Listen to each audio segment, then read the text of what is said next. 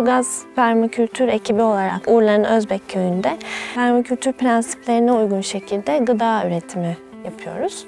Şu an üzerinde bulunduğumuz 6 dönümlük arazide e, mevcutta yulaf ve fi ekili. E, daha önce bu arazide buğday, kızılca buğday yetiştirmiştik.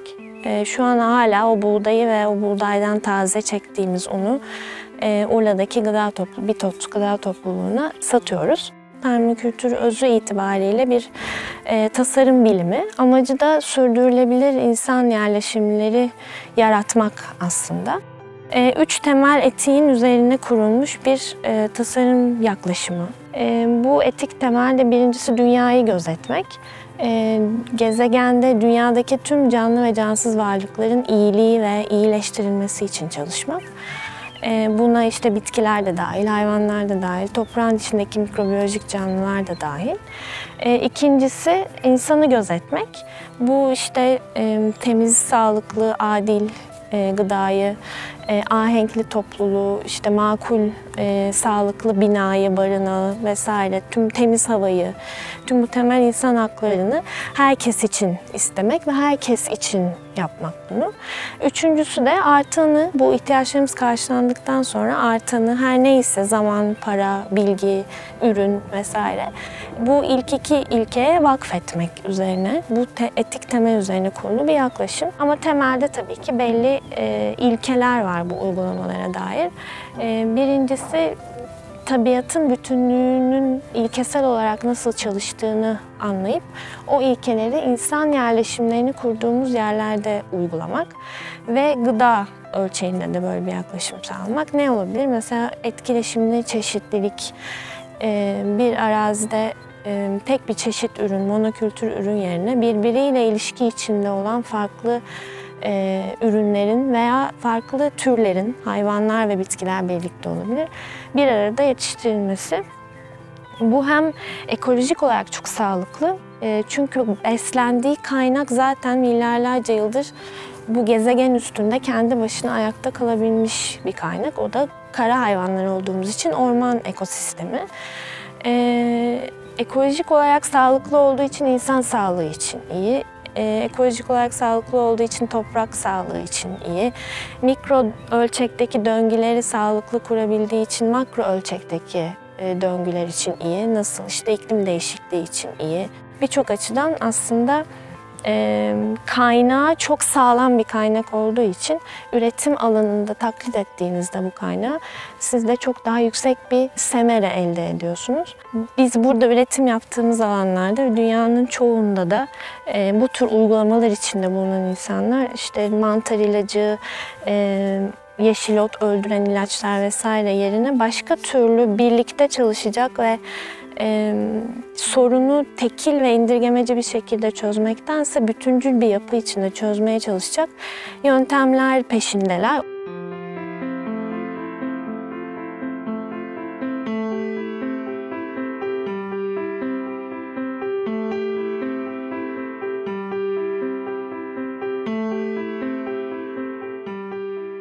zararlıyı tırnak içinde zararlı mücadelesi kesilen bir yaraya sadece bant yapıştırmak gibi bir şey aslında. Ee, uzun vadede sorunu çözmediği gibi çok daha ciddi problemlere de sebep oluyor. Doktor Elaine Ingham bu toprak mikrobiyolojisini hayatımıza çok derin bir şekilde sokmuş olan hocalardan biri şunlar. Aslında zararlı böcekler e, evrimin zayıf olan bitkiyi eleme yöntemlerinden bir tanesidir. Gen havuzunu sağlam ve güçlü kılabilmek için kullanılan stratejilerden biridir. Dolayısıyla bizim ilkemiz üretim yaparken de eğer bitkide bir hastalık e, varsa bu hastalığa sebep olan canlının problemi değil aslında bitkinin zayıf olduğunun bir göstergesi. Zayıf olması ne demek? Toprakla doğru ilişkiler içinde değil demek. Ee, doğru düzgün fotosentez yapamıyor. Kendini koruyabilecek antiseptik, işte antibiyotik vesaireleri üretebilecek bakterilerle, mantarlarla ilişki içinde değil demek. Dolayısıyla geldiğimiz noktada bizim ve dünyadaki birçok bu alanda çalışan e, üreticinin aslında toprağın içindeki mikrobiyolojiyi beslediğinizde veya en azından onların ölmesini engellediğinizde bitkinin doğru ilişkiyi kurabilmesi için gereken zemini hazırlamış oluyorsunuz. Ve ondan sonra bitki kesinlikle yani ölçülebilir bir şekilde e, çok daha verimli, e, sağlıklı ve dolayısıyla besleyici, aslında en önemli konulardan biri bu, e, bir e, canlı bir bünye haline gelebiliyor. Sonuçta tarımın kendisi bir müdahale şekli. İsterseniz temiz yapın, ister organik yapın, ister kimyasal yapın. İnsan için bir şeyler yetiştirme durumu tarım. Dolayısıyla müdahalesiz diye bir şey mümkün değil ama en azından ilkesel olarak etrafımızdaki ekosistemleri taklit edebilirsek e, hem kendimize bir şeyler yetiştirebiliriz hem de bunu yaparken zarar vermeyi bırakın yarar bile sağlayabiliriz aslında.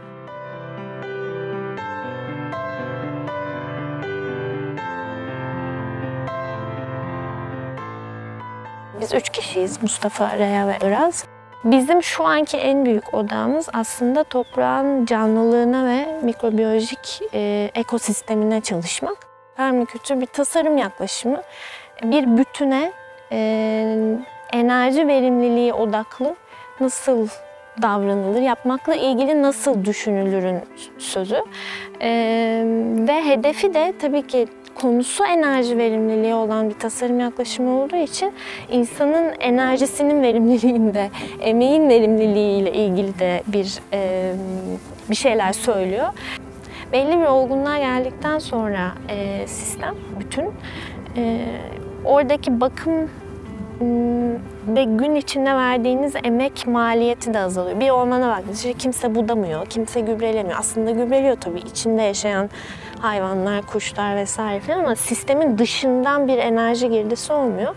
Hedef tabii ki bir noktada ürettiğiniz, yarattığınız sistemin bir şekilde emek girdisinin de azalması. Eğer 15-20 sene sonra da hala ilk ilk 3-4-5 senede çalıştığınız kadar çalışıyorsanız aslında bir yerlerde bir şeyleri yanlış yaptınız ya da eksik yaptınız anlamına gelebilir. Kokopelli şehirde ekibinin sevdiğim bir lafı var. Eğer eğlenceli değilse sürdürülebilir değildir diye. E, huzurlu, rahat ve ahenkli bir hayata doğru gitmiyorsa yaptığınız şey ve eğlenceli, keyifli değilse e, teorik olarak ne kadar sürdürülebilir olduğunun ya da ürün bazında ne kadar sürdürülebilir olduğunun bir noktada anlamı kayboluyor. O yüzden o açıdan da keyifli. Yani o açıdan da maliyeti düşük bir sistem aslında.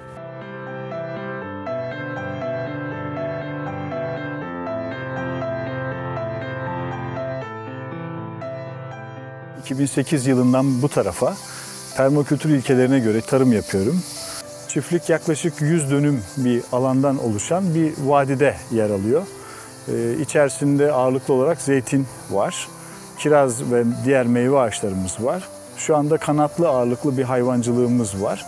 Normal tarım faaliyetlerinin içerisinde permakültürü nasıl entegre ederiz diye baktığımızda eğer yeni bir e, işlem yapacaksam permakültür ilkelerine göre düşünüyorum önce. O gerçekten yapmam gereken şey mi benim orada diye. Öncelikle bir kümes yapmam gerekiyor. Kümes de şu anda mevcutta bulunan evimin yerini hesaplıyorum. Çünkü ben o kümese günde en az 30 kere gideceğim. Uzakta olmasıyla olmaması arasındaki şekli haritalandırdığım zaman o tasarım bana söylüyor. Kümesi nereye yapmam gerektiğini. E, diğer taraftan e, burası kırılgan iklime sahip bir bölge. Bahar yağışlarımız, sonbahar yağışlarımız iyi ama yaz yağışlarımız yok. Yani ben öyle bir tasarım yapmalıyım ki burada yazın yağmayan yağmuru baharda yağan yağmurla toprağıma emdirmeli. Yazın da üzerinde fazla su ihtiyacı olmayan bitkilerle o topraktaki nemi kullanmalıyım şeklinde düşünmemi sağlıyor bu tasarım benim.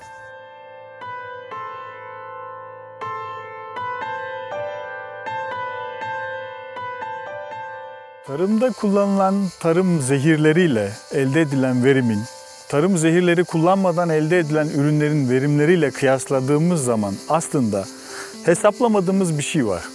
Mesela ben kirazlarımda zehir kullanmıyorum ve bunu kullanmadığım için bazı kirazlarım mantar veya çatlak veya içerisinde kurtlar barındırabiliyor. Ama aynı gün bu ürünleri sirkeye işleyebiliyorum.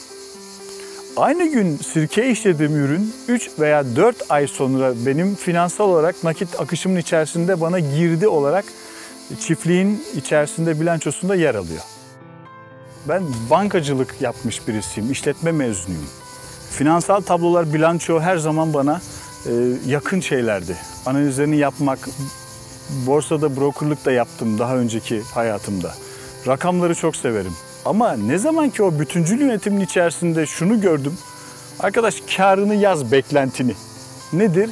Ben kirazdan bu kadar para kazanmak istiyorum. Ne kadar? Yılda 10 bin lira. Tamam geriye dönelim. Kaç tane kiraz ağacı yetiştirmelisin? 3 yıl sonra kirazdan 10 bin lira kazanmak için. Ham kirazı elde ettin.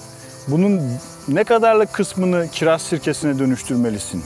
Bunun ne kadarlık kısmını şu anda daha piyasada olmayan, bilmediğimiz kirazla üreteceğin kombu çaylarına, kirazla üreteceğin bir sürü şerbete, kirazla üreteceğin antioksidan, detoks ürünlerine dönüştürebilirsin kısmı açık. Ya burada muazzam bir yaratıcılık olmalı her köylünün kendi içerisinde, aile çiftçisinden bahsediyorum. Bizim burada üreteceğimiz her ürünü rafta kalma süresini de uzatabileceksek eğer satamama gibi bir şansımız yok. Sadece şunu öğrenmeliyiz. Çiftçiler hasat zamanı parayı alırlar, çocuk evlendirirler. Hasat zamanı parayı alırlar, bir borç öderler. Dolayısıyla onlar için finansal akış yılda sadece bir keredir veya iki keredir. Bunu değiştirmeleri gerekiyor. Bir, alışkanlıklarımız değişecek nedir? Finansal anlamda. Ne yapmamız lazım? Daha çeşitlilik. Bütün portföyün içerisindeki gelir getirici unsurları yayarak. İki, zamanımızı doğru kullanarak. Nedir? Şimdi yaz. 6'da kalkmamam lazım benim. 4'te kalkmam lazım. Ve 9'da uyuyup 4.30'da 5'te öğleden sonra tekrar saat 9-10'a kadar çalışmam lazım. Aynı birim saat aslında. Ama muazzam bir hayat kalitesi var bunun içerisinde. Kitap okuyorum, havuza giriyorum, güneşleniyorum, arkadaşlarımla sohbet ediyorum. Bütün işlerimde oluyor. Biz Tatuta üyesiyiz. Girsinler Buğday Derneği'ne. Küçük bir katkıyla da çiftliğimize gelebilirler. Bu da yine benim finansal çeşitliliğimi artırma yöntemim. Şu anda bundan daha önceki hayatımdaki kadar neredeyse başa baş para kazanıyorum. Eğer mesai yapıp bir ilaç firmasında çalışıyor olsaydım da bu kadar para kazanacaktım. Ve sevmeden ve mutsuz şekilde. Zehirsiz tarım yapılır mı? Neden zehir atalım? Ne kadar süredir dünyada bu kimyasallar kullanıyor insanlar? Tarımın 10 bin yıllık geçmişi var. Eğer ben tohumu, toprağımı tanımayan tohumu, gidip nereden geldiği belli olmayan tohumu toprağımla buluşturur, ondan fide elde edersem böcekler onu o yıl yerler.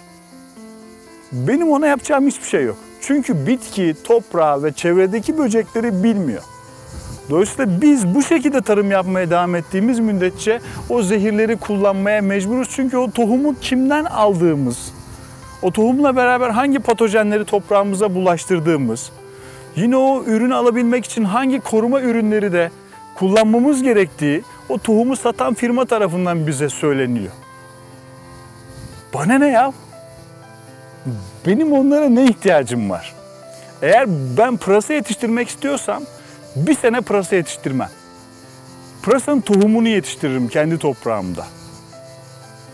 Toprağımda tohumu elde ettikten sonra o pırasa benim toprağımı tanıdıktan sonra o tohumdan çıkan pırasalar bir kere o zehirlere ihtiyaç durmaz. Her şeyden önce bitkinin kendisine dair salgıladığı kimyasallardan ve bu böceklere ve toprağa kendini savunmasından dolayı benim faydalanmam gereken bir yer var orada. Baktım kırmızı örümcek gelmiş. Dünyanın en eski ilaçlarından bir tanesi kükürt. Bildiğimiz en basit maden kireç. Bildiğimiz bazı böcekler toraksından solunum yapar. En basit şey bir yemek kaşığı yağ, sıvı yağ. Bunları hazırladığımız zaman bu preparatı kullandığımızda hem böceklerden kurtuluyoruz, hem bitkimize zarar vermiyoruz, hem de bitkimizi aynı zamanda besliyoruz. Birçok alanda biz zehirsiz tarım yaparak yüksek verim elde edebiliriz üstelik. Tırtıl, lahanada çok görürüz. Bir formül var, bu sarımsak formülü. 4 diş, 5 diş sarımsağı ezdiğimiz zaman bir havanın içerisinde bunu bir litre suya eklediğimizde, içerisine bir yemek kaşığı çok acı biber koyduğumuzda, bir gün onu beklettiğimizde, ertesi gün 4 litre daha su ekleyip bunu 5 litrelik bir hacme çıkarttığımızda, içerisine bir iki yemek kaşığı yağ eklediğimizde, bitkilere uyguladığımızda bitkilerdeki o tırtılları kaçırırız. Özellikle lahanalardaki.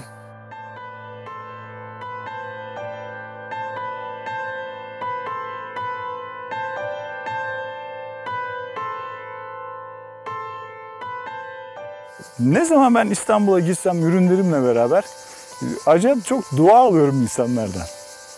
Bu insanların söylediği şey şu. Hem para kazanıyorsun hem dua kazanıyorsun. Ve son 3 yıldır, 4 yıldır çevremde biriktirdiğim insanlar bu yaşıma kadar biriktirdiklerimden daha fazla bana değer verdiklerini hissettiriyorlar.